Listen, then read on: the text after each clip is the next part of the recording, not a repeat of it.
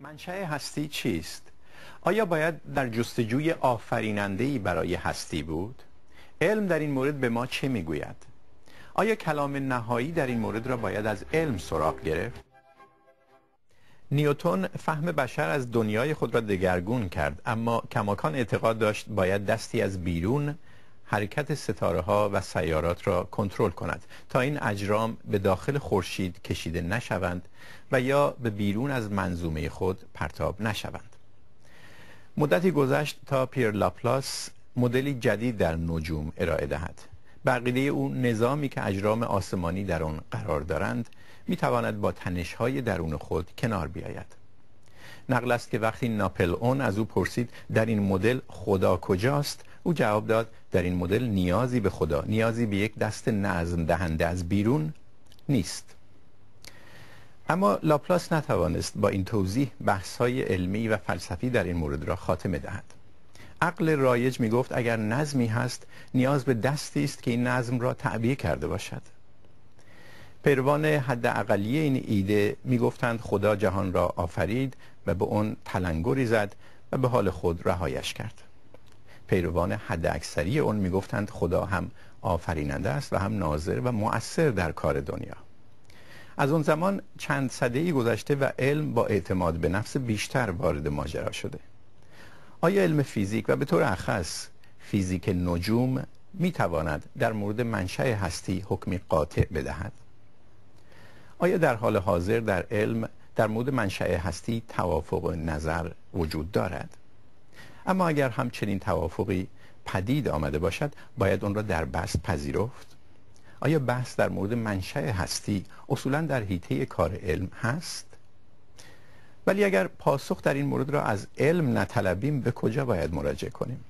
این موضوع را با مهمان های این هفته در میان می‌گذاریم. محمد حیدری ملایری اخترشناس و عضو رصدخانه پاریس و یا امیری استاد دانشگاه رویال هالووی لندن در فیزیک کوانتوم و اسفندیار تبری استاد فلسفه در دانشگاه هال تیرول اتریش. آقای حیدری ملایری علم نجوم در مورد منشأ هستی به ما چی میگه؟ پرسش منشأ هستی یکی از بنیادی ترین یا شاید بنیادی ترین پرسشی که انسان برای خود مطرح کرده از دیرترین زمانها از موقعی که انسان خودش رو تونسته فکر کنه. شاید به هومو سپینس می‌رسه انسان دانا 200 هزار سال پیش. و برای پاسخ دادن به این پرسش همیشه کوشیده با خلاقیت ذهنی خودش افسانه ها بسازه متل ها بسازه و اسطوره ها ایجاد کنه تا منشأ هستی رو پاسخ بده. و ما این افسانه ها رو می‌بینیم در دین هایی که وجود دارن. نظری که ما هم اکنون داریم دست پیدا کردیم بهش در علم فیزیک. برای نخستین بار در تاریخ بشری که بر خیال بافی استوار نیست.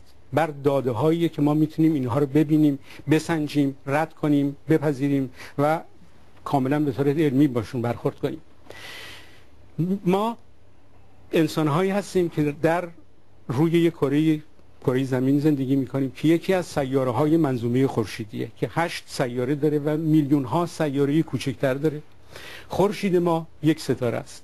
یک میلیون برابر از زمین بزرگتره. در درونش هر ثانیه میلیاردها بمب هیدروژنی اتفاق منفجر میشه که انرژی خورشید رو به وجود میاره. خورشید یک ستاره است و یکی از ستارگان مجموعی که بهش کهکشان میگن. و در این کهکشان 200 میلیارد ستاره وجود داره که بعضیشون از خورشید بزرگتر بعضیشون از خورشید کوچکترن. و میلیاردها کهکشان وجود داره که این کهکشان ها گروه گروه با هم قرار گرفتن و اینها همه دارن از هم دور میشن گاه با سرعتی بیشتر از سرعت نور.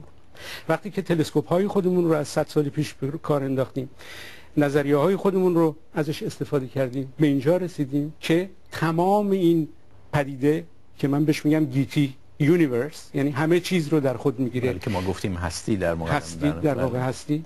از یک زمانی آغاز میشه. من واژه جهان رو به کار می‌برم که که جهان بیشتر کره زمینه. وقتی میگیم بله. جنگ جهانی یعنی جنگی که نه در کهکشان ها اتفاق بله. افتاده. در هر صورت این برمیگرده به 13 میلیارد و 700 میلیون سال پیش. اگه بخوام خلاصه کنیم 14 میلیارد سال پیش. پیدایش گیتی. پیدایش گیتی. در آن زمان نه آب بوده نه آسمان بوده نه ستاره بوده نه هیچی وجود نداشته. ماده وجود نداشت ماده وجود نداشته فضا وجود نداشته زمان وجود نداشته. همه چیز در یک نقطه متراکم شده بوده. در به اندازه کوچکترین اندازه‌ای که تاکنون انسان تونسته به تصور در بیاره میلیاردها میلیارد برابر از اندازه یک الکترون یک اتم کوچکتر بوده.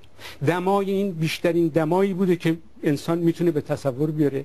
به یه علتی که شاید بعد درباره این صحبت کنیم این شروع کرده به انبساط پیدا کردن. این اندازه کوچک در عرض یک رقم کسر بسیار کوچیکی از ثانیه به اندازه قطر یک متر رسیده و همینطور ادامه پیدا کرده و با بزرگ شدن دماش کم شده. در چند دقیقه نخست هیدروژن به وجود میاد و هلیوم. و هیچ چیز دیگه ای به وجود عنصر شیمیایی دیگه ای به وجود نمیاد. هیچی به وجود نمیاد. میلیون ها سال این هستی این گیتی که داشت بزرگ می‌شد بزرگ می‌شد بزرگ می‌شد در تاریکی به- سر می‌برد و درش نوری وجود نداشت. میبایستی در اثر این گسترش تراکم به وجود بیاد. در این ماده‌ای که بعدا به وجود اومده بود و از دل این تراکم ستاره ها به وجود بیان و ستاره ها کارخانه هایی به وجود آوردن عنصرهای شیمیایی هستند و میلیون ها میلیون ها سال میلیارد ها سال طول کشیده. 9 میلیارد سال پیش این گازها و این ابرها در هم متراکم شدن و ستاره رو به وجود آوردن که بهش خورشید میگیم.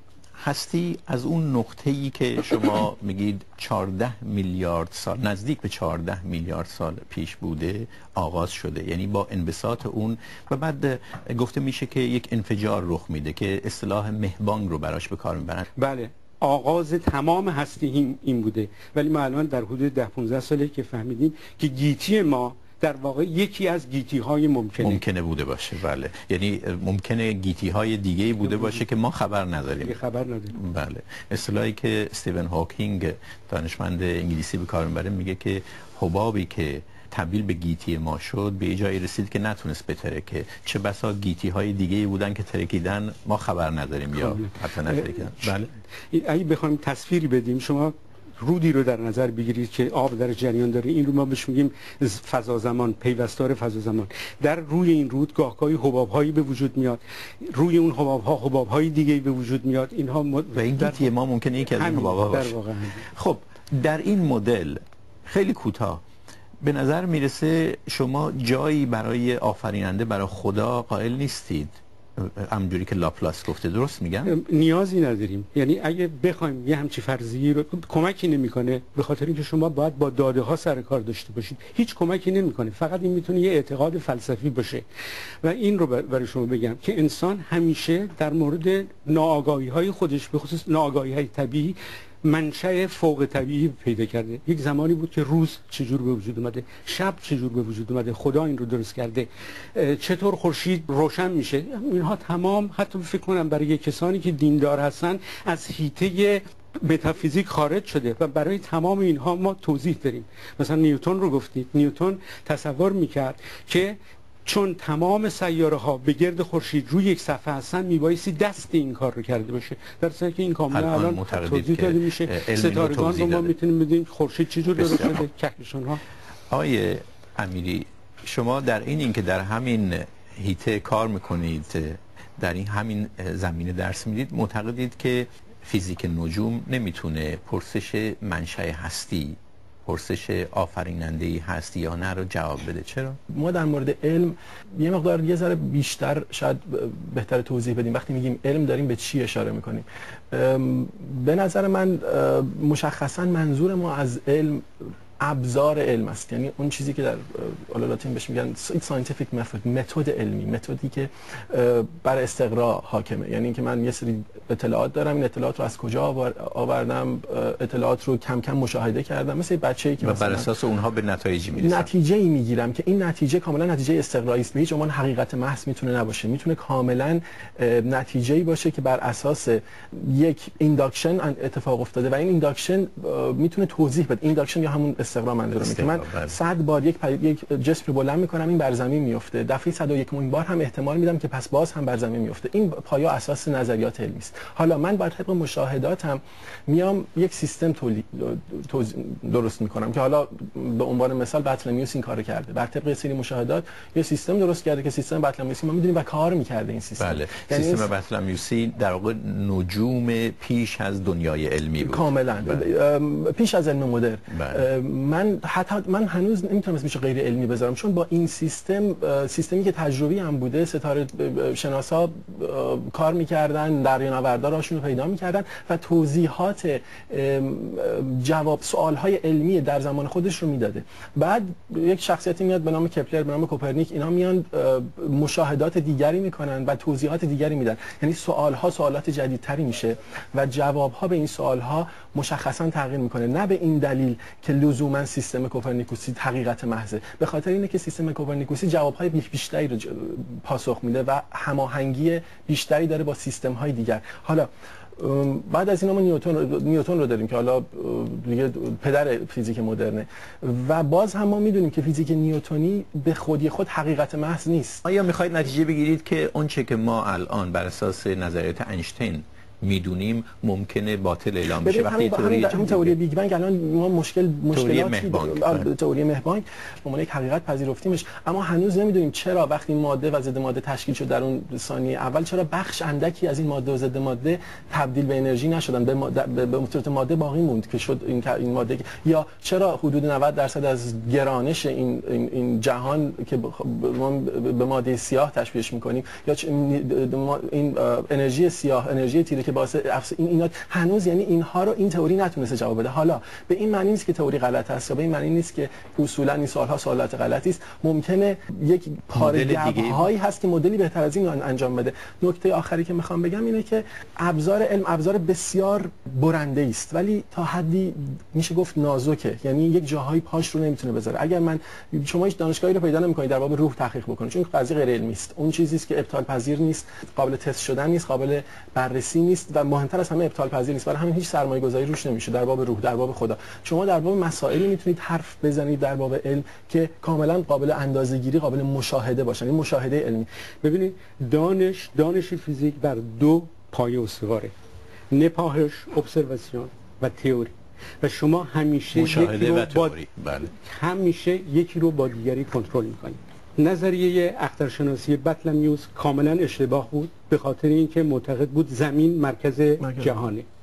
ما نمی‌تونیم بگیم که اون نظریه هنوز همون اندازه ارزش داره که نظریه کوپرنیک من نگفتم همون اجازه ببینید علم اینطور پیش میره. نه تنها فیزیک بیولوژی زیست شناسی و دیگر علم ها چیزهایی رو پاسخ میده یک چیزهایی رو نمی‌تونه پاسخ بده. این رو پاسخهای جدید رو در دل یک نظریه جدیدتر که اینها همیشه کنترل میشن با نپاهش ها با مشاهده و این تکمیل میشه. نظریه نیوتن جایگزینش نظریه نسبیت اینشتین بود نظریه عام عام اینشتین. و ما نمی‌تونیم بگیم که نظریه نسبیت عام برای همیشه همینه. نه و تمام کسان فیزیکدانان بزرگی دارن کار می‌کنن برای نشون بدن که نظریه نسبیت اینشتین در بسیاری موارد عمل نمی‌کنه و این رو بشکنن و با شکست مثلا علم اینطور پیش میره. شما با شکستن این می‌تونید راه از این نتیجه نمی‌خواید بگیرید که نظریه نسبیت اینشتین و نظریه نیوتن اینها همسنگ هستند معتقد هستید علم پیشرفت, پیشرفت می‌کنه. خب در مورد پیشرفت علم و اینکه چطور هست صحبت خواهیم کرد چون می‌دونم بحث مهمی در این زمینه میشه کرد. بذارید از آقای تبری بپرسیم. شما تو حوزه فلسفه کار می‌کنید. هرچند مطالعات دانشگاهی پیشینتون اتفاقا در حوزه فیزیک نظری است. شما فکر می‌کنید علم می‌تونه به این سوال جواب بده که منشأ هستی چیست؟ یا نه باید رفت سراغ هیتهای دیگه فعالیت بشری. برای این پرسش شما رو من یه مقدار دقیق‌تر می‌کنم که در اول جلسه پرسش رو طور دیگه این مطرح کرده بودید که آیا علم می‌تونه پاسخ نهایی به منشأ هستی بده؟ پاسخ نهایی به منشأ هستی بده؟ چون پاسخ به منشأ هستی می‌تونه بده. ولی آیا این پاسخ نهایی می‌تونه باشه؟ اگر علمی دانشمندی جواب مثبت بده از علم خارج شده. یعنی این پرسش میشه پرسش متافیزیکی. متافیزیک تو مفهوم قدیمی کلاسیکش. مفهوم قبل از کانتیش ببینید که بعد از این مفهوم متافیزیک بعد از زمان ارسطو خودش رو به عنوان یک اصطلاح جایگزین جانشون به این مفهومه که به این پرسش پاسخ بده که به منش منشه پاسخ نهایی به منشه هستی. یعنی پرسش اصلی متافیزیک این بوده. که ما یک پاسخی بدیم به منشأ هستی به طور نهایی که در این زمین هم های خیلی مختلف از قبل از ارسطو هم از تالس تالس آب رو منشأ هستی می‌دونست پیثاگورس عدد رو و غیره همینجور یعنی در این زمین هم پاسخهای زیادی هست توی فلسفه. یعنی هر کسی اومد یک پاسخ نهایی داده. یعنی این طرح این پرسش یک پرسش متافیزیکیه. خب حالا البته حالا این متافیزیک به این ترتیب رشد کرد. به همین مفهوم هم متافیزیک هم خودش رو مشغول کرد در طول در تاریخ فلسفه و فیزیک و, و علم های دیگه خودش رو به مفهوم مفهوم مسئله خدا پرداخت. خب خدا به عنوان آفریننده هستی. اثبات وجود خدا رد وجود خدا این بحث ها شد توی بحث های دینی و فلسفی. تا اینکه اومد کانت البته قبل از اون هم کسان دیگه اومدن ولی کانت اومد واقعا به صورت کیفی نظریه داد. این پرسش متافیزیکی رو طور دیگه ای مطرح کرد. یعنی یک متافیزیک جدید بنیان گذاری کرد. گفت که متافیزیک این متافیزیک رو باید یه ذره بهش سر و سامان بود یه ذره علمیش کرد. پرسش این پرسش رو مطرح می‌کرد که ما اصلا چی می‌تونیم بدونیم به این پرسش؟ یعنی اول اینو بدونیم که اولا چیه؟ که اولا مرز مرز مشخص بشه مرز دانایی بعد روشن بکنیم که چیه. که بعد اونجا اومد خیلی سیستماتیک به طور خیلی سیستماتیک به این نتیجه رسید که ما یک چیزایی هست که اصلا نمی‌تونیم بدونیم یعنی یک سری چیزایی هست که اصلا خارج از تجربیات ماست. چرا متافیزیک اون موقع می‌گفت که بدون بال یک پاسخ نهایی بوده برای منشأ هستی؟ چون که متافیزیک خودش آزاد از تجربه می‌دونست. بر پایه تجربه عمل نمی‌شد نمی‌کنه ولی علم باید بر اساس مشاهدات و تجربه کار بکنه. یعنی این کار علمیه. همون روش استقرایی که شما میگید در بر اساس تجربه است. که تجربه و مشاهده است. و به همین دلیل به هیچ وجه نمی‌تونه علم یک پاسخ به یک پاسخ نهایی برسه.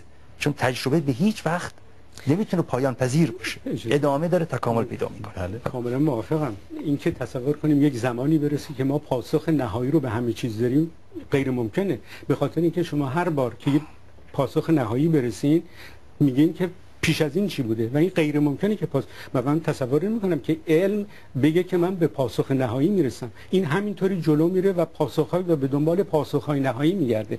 ولی چیزی که شما جالب بود در گفتتون در مورد کانت این بود که کانت اومد و علم رو در متافیزیک وارد کرد. یعنی چی؟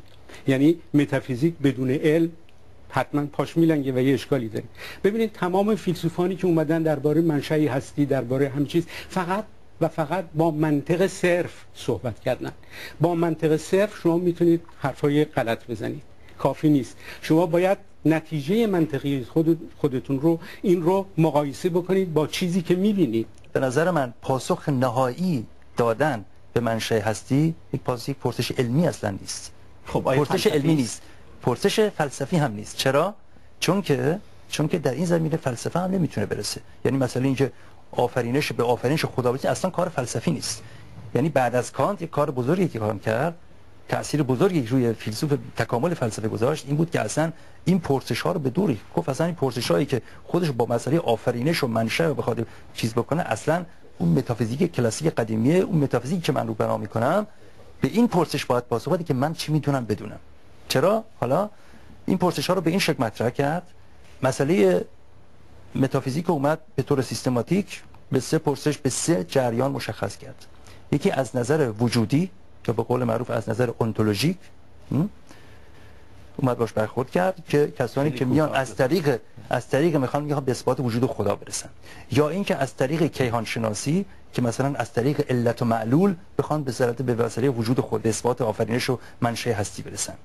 یا از طریق هدف شناسی یا تلئولوژیک بخوان به دوباره به اون مسئله از هدف به هدف قایی برسن هر سه اینها رو به نظر کانت متناقضه. یعنی هر سه اینها اشتباه است. ولی کاری که خود کانت میگه خود کانت از یک بحث اخلاقی حالا اجازه به اخلاقی. بله. دلیلی که کانت که بعد میگه فقط تنها راهی که در ارتباط با مسئله آفرینش و مسئله اعتقاد به خدا است اعتقاد به خدا چیزی که شما اشاره کردید من رد می‌کنم یه چیز فلسفی نیست بلکه چیز دینیه. اعتقاد به خدا مربوط به چیز اخلاقی میشه. یعنی کانت فقط یک راه می‌ذاره در ارتباط با مسئله خدا نه اثبات وجود خدا بلکه می‌ذاره مسئله اعتقاد اخلاقی که می‌تونه برای اخلاق ما مثبت باشه. از زمان مهبانگ ما می‌تونیم بررسی بکنیم جهان رو و ببینیم که آقا با تئوری تکامل ما می‌تونیم تکامل کهکشان ها رو توضیح بدیم فرم گرفتن منظومه ها رو توضیح بدیم و همینطور تکامل حیات رو توضیح بدیم. این دیگه هر صحبتی بکنیم صحبت علمی است یعنی صحبت درستی بله. صحبت بجایی صحبت درخوری است در حقیقت. اما وقتی ما به, به اون چیزی که در انگلیسیش میگن singularity حالا من نمی‌دونم به فارسی تکینگی ترجمه به اونجا که نزدیک میشیم در حقیقت تمام قوانین ما به هم میریزه. از لحظه ای که این جهان به وجود آمده یک سری قوانین یک سری قوانین به خلق شدن قوانین فیزیک یه سری یه سری ثابت های فیزیک ریاضی هستن. مثل ثابت گرانشناسی ثابت ثابت خب. الکتریسیته ثابت الکترومغناطیس که اینها با بسیار بسیار عددهای دقیقی هستند خب از این چه نتیجه می‌گیرید؟ ببینید من نمی‌خوام نتیجه مذهبی از این داستان بگیرم. بله. این خیلی نتیجه مذهبی جالبی میشه ازش گرفت. بله. خیلی از مذهبیون این رو یکی از دلایل مهم اثبات وجود خدا می‌دونن. میگن این قوانین اعداد بسیار دقیق اگر یک هزارم درصد اینها تغییر می‌کردند این اعداد.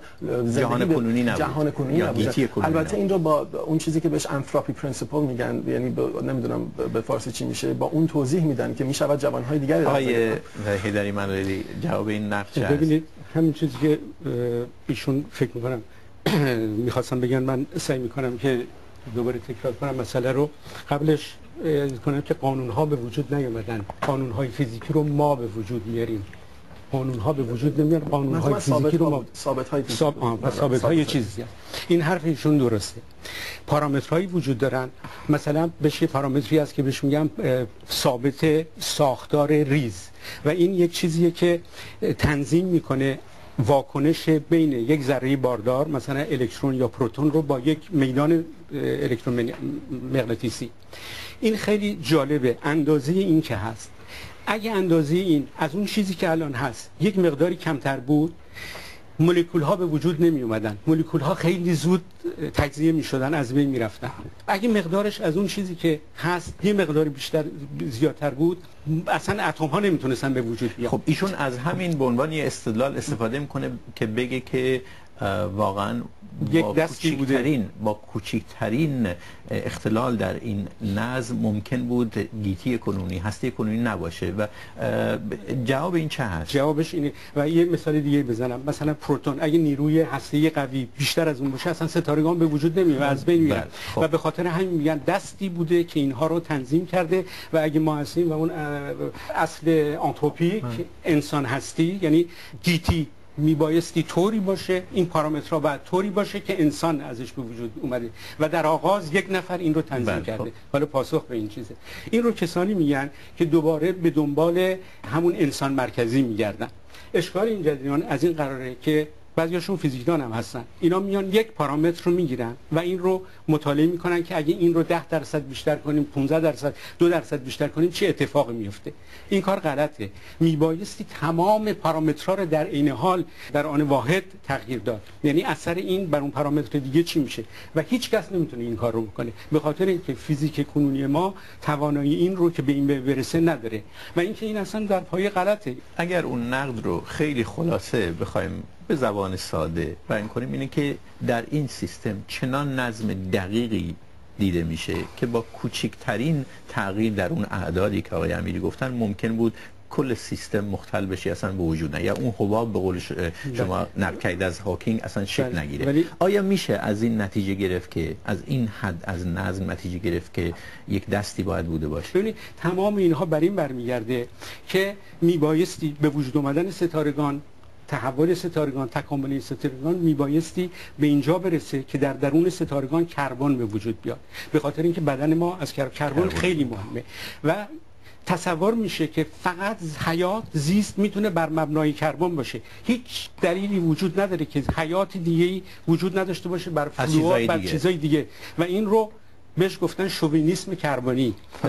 ما بر اساس مشاهدات و تئوری های علمی به هیچ وجه نمی‌تونیم به اثبات وجود خدا یا رد وجود خدا برسیم. ما اصلا نمی‌تونیم بگیم اون پرسش پرسش متافیزیکی این پرسش یک پرسش اعتقادی میشه. ولی آقای آقای هیدری ملایری میگن اتفاقا اون پرسش پرسشی است. علمی به دلیل اینکه میشه با تجربه و مشاهده خب. رد ولی ولی دیدیم که ولی پرس ولی شما هم خود تایید کردید که پاسخ نهایی نمی‌تونید بدید پاسخ پاسخ ما وجود خود یک پاسخ نهاییه. اگر ما مرحله به مرحله پیش میریم. نه خب چه مرحله ای می‌رسیم. خب وقتی میگید نهایی نمی‌تونیم برسیم. وقتی میگید نهایی نمی‌تونیم برسیم یعنی این مسئله نهایی خیلی مهم اینجا تعیین کننده است. یعنی ما ببینید. اصلا نمی‌تونیم ب... من اینجا برای یه مقدار برای اینکه از نظر روش شناسی بیشتر درک بکنیم من دو دقیقه وقت می‌خوام یه مقدار بله. توضیح بدم درباره این درگیری که اصلا از زمان قدیم به ویژه از هرکلیت تا امروز وجود داشته باشه بله. وجود وجود داره امروز هم وجود داره می‌دونید یه مفهومی هست به طبیعت گرایی یا ناتورالیسم میگن یعنی در حقیقت فیزیک یا بیولوژی همینا از ناتورالیسم یعنی میگن ناتورالیسم یعنی چی یعنی اینکه همه چیز طبیعته علم میگه همه چیز طبیعته. ما طبیعت رو می‌تونیم بشناسیم از طریق مشاهدات تجربی خودمون. خب ولی در جالبی که در چارچوب همین ناتورالیسم یا طبیعت گرایی دو دیدگاه کاملا متضاد, متضاد وجود داره. یه دیدگاه دیدگاه جوهرگرایانه است یا اسنسیالیستی بهش میگن. دیدگاه دوم یه دیدگاه هولیستی یا کلیگراییه. دیدگاه اول که اسنسیالیستی تو علم خیلی چیز داره جوهرگرایی یعنی بله. میگه که همه چیز طبیعته و مفاهیمی که من از استفاده می‌کنم و توی مفاهیمی که من استفاده می‌کنم تمام طبیعت جا می‌گیره. مثلا تئوری نسبیت انشتینی یک تئوری از این نظر اسنسیالیستیه که میگه بر اساس مفاهیم زمان فضا و ماده و اون رابطه ای که بین برقرار می‌کنم مفهوم فضا زمانی می‌تونم تمام طبیعت رو تعبیر کنم تفسیر کنم. خب حالا شاخه دیگه شاخه دیگه. هولیستی یا کلیگرایانه میره دنیای کوانتومی میشه. دنیای کوانتومی میگه که همه طبیعت توی مفاهیم من جا نمی‌گیره. چرا؟ اون نظم و طبیع... نظم و قوانینی که ما تو دنیای بزرگ ماکروسکوپی شبل یا دنیای بی‌نهایت بزرگ داریم تو دنیای بی‌نهایت کوچک نداریم. خب از این صحبت شما اجازه بدید. از این صحبت شما میشه نتیجه گرفته؟ این رو می‌خوام از آقای امیری بپرسم که رشتهش فیزیک کوانتومه. میشه نتیجه گرفت که بین فیزیک انشتنی و فیزیک کوانتوم تنش هست. هیچ وقت هیچ تئوری نتونسته که این دوتا رو با هم با هم متصل بکنه. معمولا در ابعاد بسیار ریز ما از فیزیک کوانتوم استفاده می‌کنیم. در ابعاد بزرگ که مثلا کهکشان ها و سیارات هست از فیزیک از نسبیت عام انیشتین استفاده می‌کنیم. نتونستیم در ابعاد ریز این خب. دوتا رو با هم متصل بکنیم. از این تنش بین این دو ما در ارتباط با پرسش اصلی برنامه می‌تونیم نتیجه بگیریم؟ ببینید یک مسئله مطرح شد دام تئوری همه چیز. یک حالا من نمی‌دونم هنوز اعتباری داره در علم یا نداره. بله. و این داستان برای اینکه ما بتونیم تمام بخش های فیزیک مثل ترمودینامیک نسبیت و نمی‌دونم کوانتوم همه رو با هم متصل بکنیم و به یک تئوری برسیم که تمام جواب یعنی تمام جهان رو به طور کامل تصویر بکنه.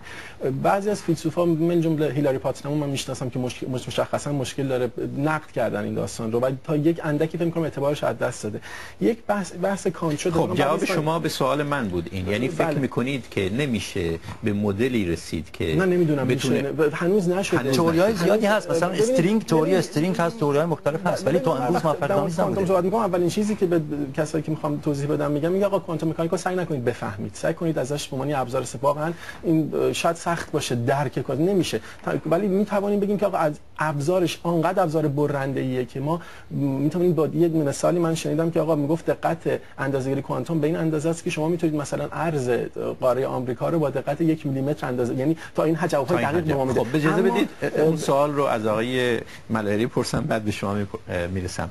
آیا از تنش بین فیزیک کوانتوم و فیزیک عام نسبیت عام اینشتینی میشه به این رسید که فیزیک جواب قاطع و کامل نداره برای اینکه هنوز در درونش تنش هست و نمیشه این دو فیزیک فیزیک اجسام یا اشیا یا اجرام بسیار ریز و فیزیک نجوم رو با هم دیگه جمع کرد و خود همین نشون میده که واقعا نمیشه به طور کامل به این گفت حقیقت مطلق. ببینید من از به کار بردن واژه تنش زیاد راضی نیستم. برای اینکه تنشی وجود نداره.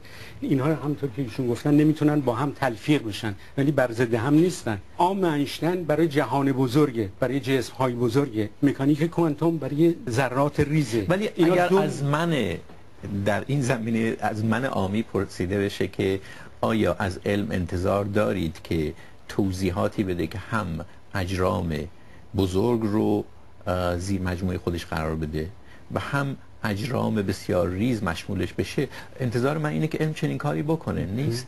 این انتظار یعنی دو عبارت هزاران هزاران نفر بزرگترین مغزهای تصور می‌کنم انسانی دانشمندان فیزیکدان و ریاضیدان دارن روی این کار می‌کنن. و پیشرفت هایی شده. نظریه ریسمان اومده چیزهای دیگه. ولی به پرسش آ... که کردین پاسخ بدم که این برای مهبانگ چه نتیجه داره؟ بیشترین چیزی رو که می‌تونیم از مهبانگ بدونیم دورترین لحظه ای رو که می‌تونیم به مهبانگ برسیم از نظر تئوری. ده به توان منهای 43 ثانیه.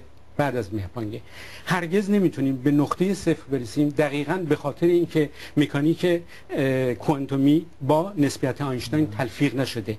و موقعی که ما این رو تلفیق کنیم می‌تونیم به اون برسیم. یعنی وقتی ما بتونیم تلفیق کنیم اون وقت می‌تونیم بفهمیم که قبل از مهبانگ چی بوده چه قوانینی رایج ولی بودن بعضی نظرهایی هست که می‌تونه پاسخ بگه.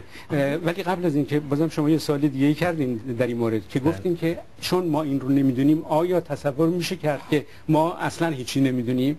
این نه ببینید نظریه بطلمیوس غلط بود و الان اومد نظریه کوپرنیک و چیزهای دیگه. و خیلی چیزا هست که ما در این زمینه نمی‌دونیم. ولی آیا این دلیل اینه که پس نظریه بطلمیوس درست و زمین برمیگرده اون نظر اولیه شما که معتقد هستید که علم پیشرفت می‌کنه به طور خطی و هر چه جلوتر میای مدل های کامل تری رو من یه سوال دیگه ولی اجازه بدید همین موضوع که بسیار مهمه رو من از شما بپرسم آقای امیری.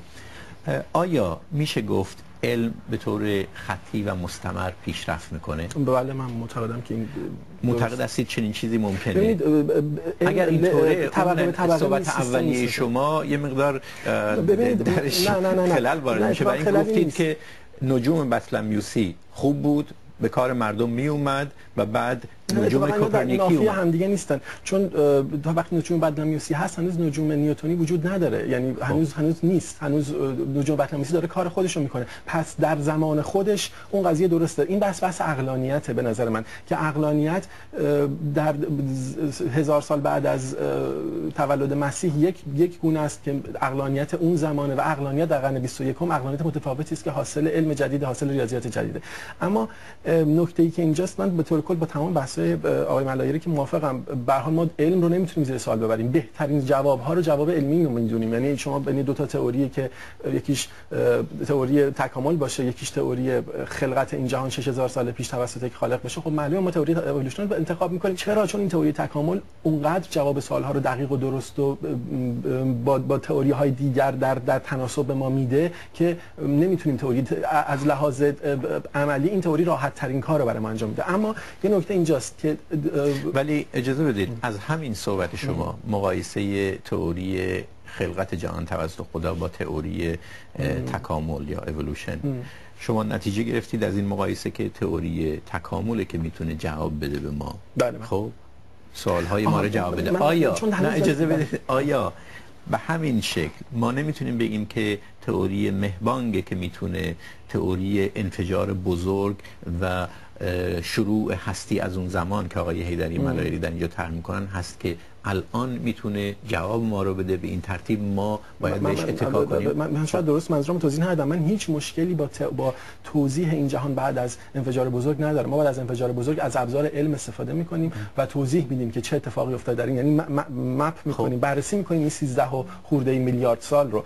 اما این که قبل از مهبانگ چه شد و یا آیا بعد از این چه خواهد شد؟ اینها سوالات کاملا غیر علمی در این زمینه من با ایشون آقای درست درست. آقای حتما الان به شما می‌رسیم. خیلی کوتاه. آیا ما می‌تونیم پرسشی بپرسیم در مورد اینکه پیش از مهبانگ چه بود؟ این پرسش امکان طرح شدن داره. برای اینکه برداشت من با اطلاعات اولیم از این نظریه اینه که ماده که به وجود میاد زمان و مکان به وجود میاد. اینها وجوه ماده هستند. خب؟ اگر چنینه به این ترتیب پیش از مهبانگ زمانی وجود نداشته. بنابراین سوال من که پیش از مهبانگ چه بوده؟ یعنی زمانی پیش از مهبانگ خود به خود سوال نادرستی خواهد بود. چه چیزی هست؟ ما می‌تونیم به حق داریم بپرسیم که پیش از مهبانگ چه اتفاقی افتاده. و باید بپرسیم و این یک پرسش کاملا علمیه. همونطور که اگه ما بپذیریم که داداری وجود داشته خدایی وجود داره ما که آغاز چیز بوده یا هر چیزی یک عامل متافیزیک. حق داریم بپرسیم که پیش از این چی بوده اون رو چه چیزی به وجود آورده. ما حتما باید این رو بپرسیم. الان نمی‌دونیم. ولی بعضی راه های ر... چیزهای تازه شروع شده که این رو نشون میدن و اون به این صورته که ما وقتی میگیم زمان صفر زمان گیتی خودمونه. این گیتی که کهکشان ها رو داره و این چیزها رو ساخته. ولی این گیتی تنها نیست بلکه به جای universe گیتی multiverse وجود داره. یعنی که ممکنه من... گیتی های دیگه گیتی هم که من اون رو خبر گذاشتم گیتیگان یعنی مجموعی از گیتی گیتیگان وجود داشته باشه و گیتی ما یکی از اینها بوده و این گیتی ها به وجود میان یکی پس از دیگری با هم. این از نظر نپاهشی از نظر مشاهده هنوز ثابت نشده ولی دلیل هایی ممکنه وجود داشته که ما دانشمندا دارن روی این کار روی این دارن کار. در ارتباط با اصلا تئوری مهبان که اشاره کردید ببینید وقتی اولا این تئوری هم الان خب خیلی مشکلات زیاد داره. یعنی اصلا تئوری پذیرفته شده ای نیست. یعنی نیست در, در, در یه سطح این ببینید مشکلات این تئوری مشکلات زیادی. مشکلاتش چیه؟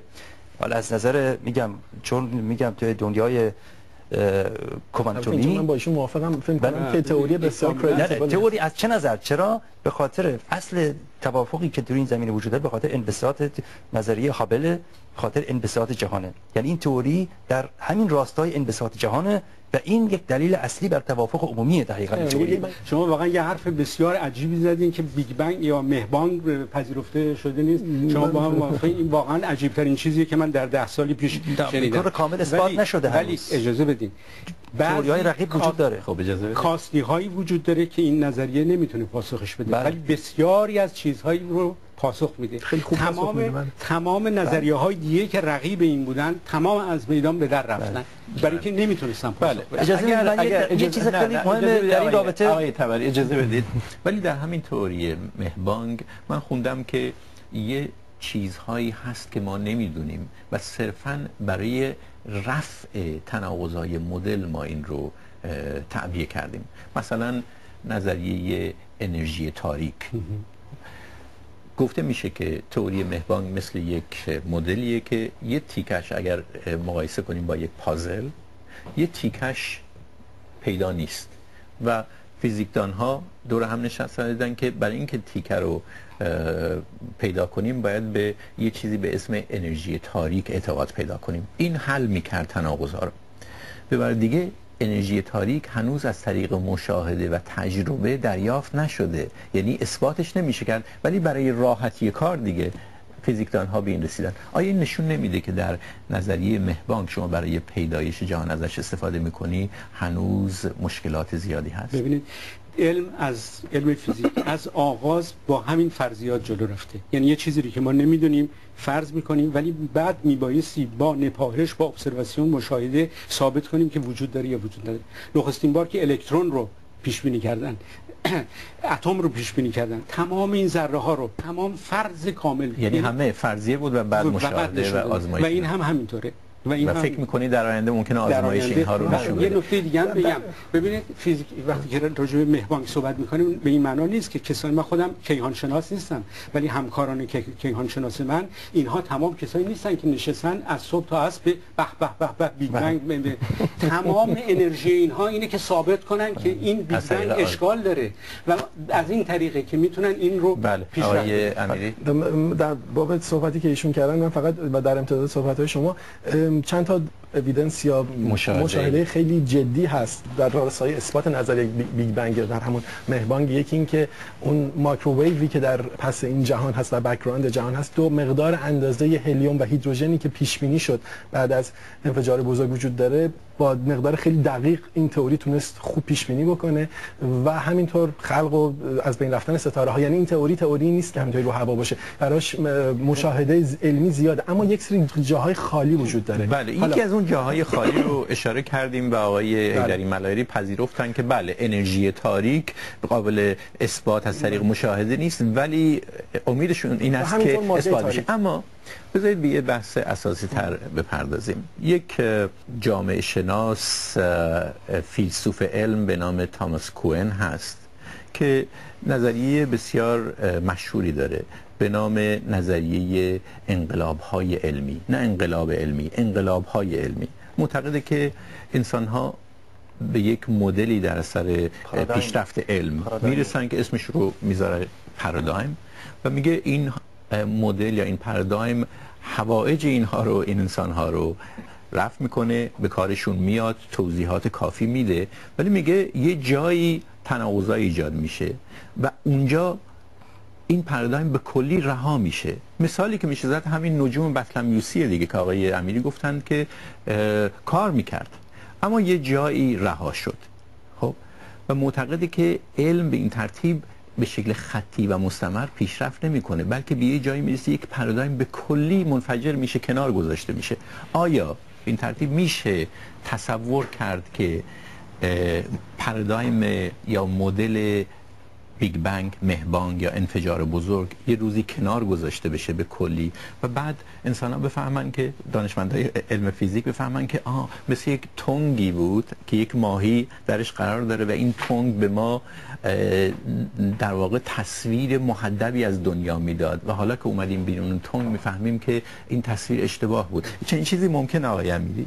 والا باز این سوال به نظر من سوالیه که هر هم سوال غیر علمی است هم جوابی که من بهش بدم غیر علمی است. برای من سخت جواب دادن به این سوال. تنها چیزی ولی نظریه تاماس کوئن رو شما قبول دارید. من کاملا میپذیرم و هر تئوری علمی رو ما در تاریخ در تاریخ نگاه می‌کنیم. دیگه آقا از نیوتن بزرگتر ما در تاریخ فیزیک نداریم. مکانیک نیوتنی هنوز که هنوز کار می‌کنه. ولی شما با سرعت‌های بالا نزدیک میشین اونجاها کار نمی‌کنه. استثناش پیش مجبوریم از نسبیت خاص خاص اینشتین استفاده بکنیم. اگر قبول دارید نظریه توماس کوئن آیا به این ترتیب میشه نتیجه بگیرید که نظریه مهبانگ این مدلی که ما ارائه کردیم یک روزی ممکنه به کلی کنار گذاشته بشه؟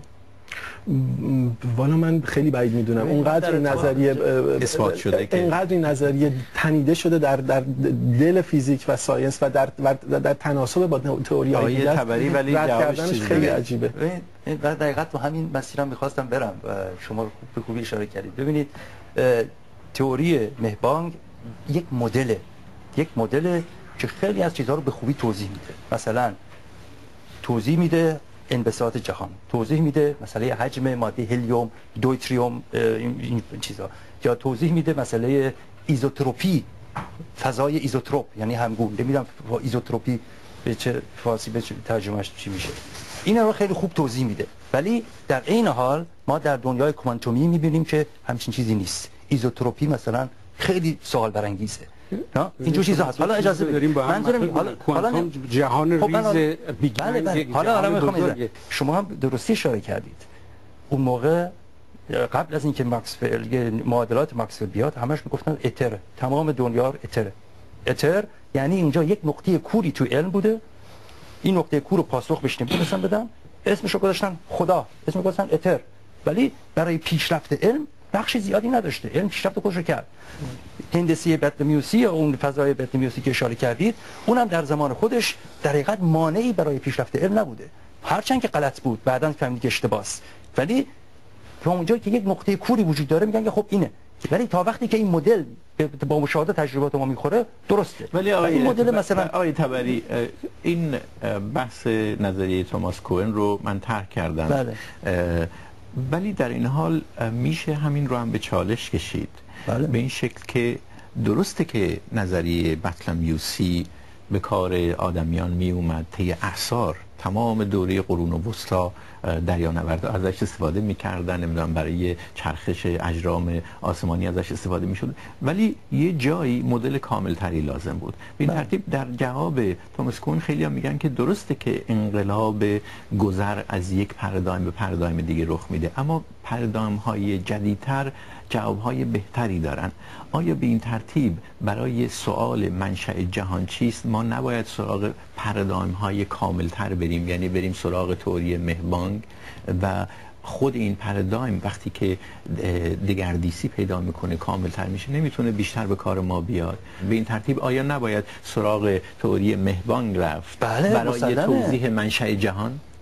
ببین برای توضیح نهایی منشأ جهان نه. این توضیح نهایی رو علم نمی‌تونه بده. گفتید ولی برای توضیح هم نمی‌تونه هم بده، نمی‌تونه بده. نه. این یه اعتقادیه؟ این که بخوام بخواست پاسخ نهایی نهایی بدیم که آیا جهان مثلا منشأش یک آفرینش بوده اینا ما به این این در چارچوب این کار خرد ما نیست خب نمی‌تونیم نتیجه که ایشون میگه- میشه گرفت من نمی‌دونم موافقم یا مخالف فقط مطرحش بکنم اینه که ما یک جاهایی پای منطق و علم نمی‌رسه به اونجا به این, این ف... نمی‌تونیم نه- نه پا- پاسخ علمی بدیم نه پاسخ منطقی بدیم. پس حالا می‌تونیم یک جوابی که خودمون دوست داریم اونجا یه اونجا رو پر بکنیم با جوابی که دوست داریم. حالا تا چه روزی فکر باشد که علم اونجا اون اونجا رو از ما بس بگیره و اونجا رو پر بکنه. آقای آقای حیدری ملایری اون جاهایی که پای علم نمی‌رسه ما باید چیکار کنیم؟ ببینید مسئله از این قراره که در فلسفه اینقدر فلسفه هست ولی کدام فلسفه ما فهمیدیم که این فلسفه درست نیست اون یکی درسته. فلسفه با آزمایش سر کار نداره. شما در فلسفه هر چیز می‌تونید بگید. منطقی باشه شما منطق درونی داشته باشه این پذیرفته است. کانت اینقدر چیزها راجع به آغاز جهان گفته. آنتیمون آنتینومیای خودش رو گفته تز آنتی تز ولی بالاخره نتیجه چیه؟ کدوم یکی از اینها رو میشه با مشاهده خودمون با نپایش های خودمون. بالاخره بعد حرفی که هست نظریه که طرح میشه یک زمان تصمیم می‌گیریم که این درسته یا درست نیست شما بر اصالت مشاهده تکیه دارید یعنی. فکر می‌کنید که بله. ولی همون صحبتی که من کردم در مورد اه، ماهی که در یک تنگ آبه در این مورد می‌تونه در واقع چالش انگیز باشه برای شما اون ماهی از مشاهده خودش می‌تونه به نتیجه نتیجه‌ای بگیره دیگه. یعنی همونجوری که ما می‌بینیم کسی در خط راست حرکت می‌کنه می‌تونیم نتیجه بگیریم که با همون زمان و با همون سرعت به جای دیگه می‌رسه. ماهی هم ممکنه بر اساس اون تحدب به نتایجی برسه. یعنی مشاهده به همون ماهی خواهد گفت که خیلی چیزها پیش بینی پذیرن و به این ترتیب اه، اصالت مشاهده اینجا زیر بله. سوال میره. خیلی کوتاه. ببینید ما الان در جو زمین هستیم. چشممون فقط نورهای مرئی رو می‌بینه. ولی تونستیم با فکر خودمون تمام انرژی های فروسرخ الکترومگنتیک تمام اینهایی که از ستارگان میاد ما این رو دریافت کنیم. گرما رو دریافت کنیم. نمی‌بینیم. هیچی از اینها رو نمی‌تونیم ببینیم. این که با ما هیچ راه دیگه نداریم. تنها منطق کار علمی و آزمایش سعی کردن و رد کردن و این رو درست کردن. و دوباره برگردیم به مهبانگ این مهبانگ نظریه که الان داریم نظریه کاملی نیست. این به این معنا نیست که حرف آخر رو زدیم. همونطور که گفتم بسیاری کسان دارن روی این کار می‌کنن. با مشاهده و آزمایش ولی این اینطوری نیست که از یک روزی برسه که بگیم این رو گذاشتیم کنار دیگه هیچ نیست یه چیز دیگه رو میاریم اون چیزی که خواهد اومد از شکل تکامل یافته اینه. گفتن. فیزیک من یه یه. نکته خیلی جالبی آقای داگل- داگلاس ادامز این نویسنده معروف یه حرف جالب می‌زنه میگه آقا اگه یک یک نفر در این جهان روزی بفهمد که این جهان از کجا آمده هر همون لحظه این جهان تغییر می‌کنه به یک جهان دیگه ای تبدیل میشه تنها چیزی که من می‌خوام بگم که اوایل قرن یک حلقه اومدن حلقه وین معروفند پوزیتیویست های منطقی مثبتگران منطقی اینها اومدن تعریف کردن که آقا گزاره هایی که ما می‌تونیم بگیم که معنادار باشن دارای معنی باشن حرفی که من می‌زنم معنادار باشه یا باید منطقی باشن مثل اینکه دو علاوه دو میشه چهار یا اینکه قابل تجربه کردن باشن که مثلا بیرون هوا بارانی است شما می‌تونید تجربه کنید که آیا بارانی است آیا بار... یعنی علم از قسمت تجربهش وارد میشه ریاضیات از قسمت منطقش وارد میشه. معتقد بودن هر چیزی فراتر از هر جمله‌ای که بیرون از این نوع گزاره باشد بی معناست من فکر می‌کنم هنوز صحبت کردن در باب خدا در باب اینکه این جهان آیا قبل از بیگ بنگ چه بوده است؟ می‌تونیم فکر بکنیم که چه بوده است سعی بکنیم از طریق طرق علمی بخوایم به دنبالش بگردیم. ولی اینکه جوابی به این سوال بدیم من فکر می‌کنم از نوع سوال های بی معناست از نوع گزاره های بی معناست نه اینکه لزوما من با, با, با پوزیتیویست های منطقی موافق باشم. اینا زیر نقدن. ولی به هر حال در همین حد من فکر می‌کنم این سوال سوال درستی نیست. سوالی که شاید بعد در آینده مطرح بشه. در طول برنامه شما اشاره کردید و گفتید این سوال را میشه پرسید. آقای حیدری ملایری گفتن که اتفاقا باید پرسید پیش از بیگ بنگ پیش از مهبانگ چی بوده. ولی مسئله اینه که هنوز علم نتونسته دریابه. یعنی حق بشر این است که این سوال ها رو بپرسه مگر غیر از اینه شما نمی‌تونید بشر بگی این سوالت بی معنیه نه می‌تونی... ببینید من وقتی دارم در دوی جمله کلمه خدا رو میارم خود به خود کلمه آوردم که نه ت...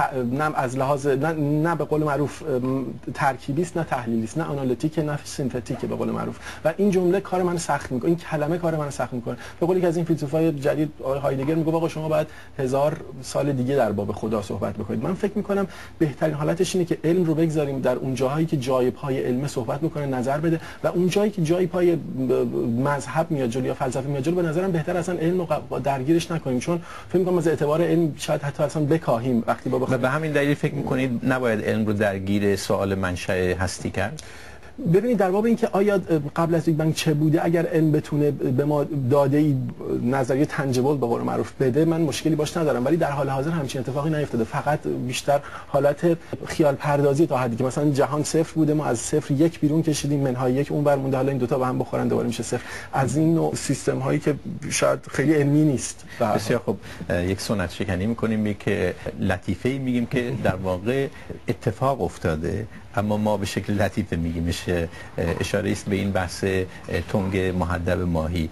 چند سال پیش در شهری در ایتالیا به نام مونزا شورای شهر حکم میده که نباید تنگ های محدب برای نگهداری ماهی فروخت. و وقتی که فروشندان می‌پرسن چرا شورای شهر میگه که دلیلش این است که این تنگ های محدب تصویر ناصحیحی از دنیا به ماهی میده. برای اینکه ماهی تصور خواهد کرد که تمام دنیا محدبه و خیلی از فیلسوف ها از این مثال که ما میگیم لطیفه ولی واقعی اتفاق افتاد نتیجه می‌گیرن که شاید اون پرادایمی که ما داریم برای توضیح این قضیه مثل یک تنگ محدبه. اون تا البته آقای ایدری ملایری رد می‌کنن برای اینکه میگن ما برخلاف ماهی تونستیم آزمایش کنیم و ابزارهای بسیار دقیق داریم. خیلی خوب. به آخر برنامه این هفته پرگار می‌رسیم. ممنون از شما که این بحث رو دنبال کردید و همینطور از مهمانهای برنامه. محمد حیدری ملایری وریا امیری و اسفندیار تبری.